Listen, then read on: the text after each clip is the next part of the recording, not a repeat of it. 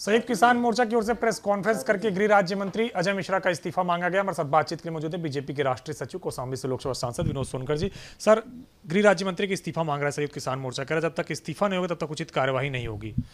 देखिए, इस दुखद घटना के बाद से कानून पूरी मजबूती के साथ काम कर रहा है और हमारे नेताओं ने, हमारी सरकार ने स्पष्ट किया है कि जो लोग भी दोषी हैं, वो चाहे जितने बड़े रसूख वाले हों, चाहे जितने बड़े पद पर हों, उनको बख्शा नहीं जाएगा। उसके बावजूद इस तरह की मांग करना निश्चित रूप से इस पूरे घटनाक्रम को एक राजनीतिक रंग दे के राजनीतिक फ़ायदे लेने का प्रयास है। राकेश टिकैत ने कहा है कि आशीष मिश्रा को रेड कारपेट बिछा के आज पुलिस पूछताछ के लिए बुला रही है। जब तक गृह राज्य मंत्री हैं अजय मिश्रा, तब तक पुलिस दबाव में ही कार्यवाही करेगी।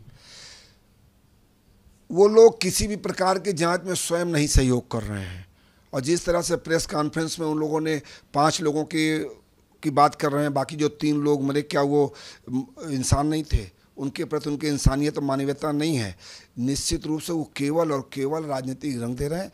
पुलिस अपनी जाँच पूरी तरह से कर रही है, पूरी मजबूती से कर रही है और समय आएगा, देखिएगा कि जो भी दोषी कोई बख्शा नहीं जाएगा। ये कहा गया कि अगर गृह राज्य मंत्री इस्तीफा नहीं देंगे तो रेल रोका जाएगा अठारह अक्टूबर को, पुतला दहन किया जाएगा पीएम का, सीएम का, गृह मंत्री का, और इसके अलावा फिर 26 अक्टूबर को लखनऊ में बड़ी महापंचायत की जाएगी। जिनके रैली में तिरंगे का अपमान होता हो जिनकी रैली में राष्ट्र विरोधी नारे लगते हों वो कुछ भी कर सकते हैं किसी का भी पुतला फूक सकते हैं। लेकिन ये बात के मान लें कि ना तो किसान इनके साथ है न इनके साथ जनमानस है। ये केवल राजनीतिक रोटी सेकने के लिए इस तरह का केवल प्रोपोगंडा करने का प्रयास कर रहे हैं। एक आखिरी सवाल अखिलेश यादव ने भी प्रेस कॉन्फ्रेंस किया है और कहा है कि बीजेपी के लोग गाड़ी से कुचलने का काम करते हैं। ये अखिलेश जी से बेहतर कोई नहीं जानता। कि 2017 से पहले उत्तर प्रदेश में हुटर और शूटर का राज था। उत्तर प्रदेश में कानून का राज अगर किसी ने स्थापित किया है तो वो योगी जी की सरकार है भारतीय जनता पार्टी की सरकार है। शुक्रिया हमसे बातचीत करने के लिए। तो बीजेपी के राष्ट्रीय सचिव विनोद सोनकर जिनका कहना है कि पुलिस पूरी मजबूती के साथ काम कर रही है और जो भी दोषी है उसके खिलाफ कार्यवाही होगी। कैप्शन कपिल के साथ अभिदास तिवारी एबीपी गंगा दिल्ली।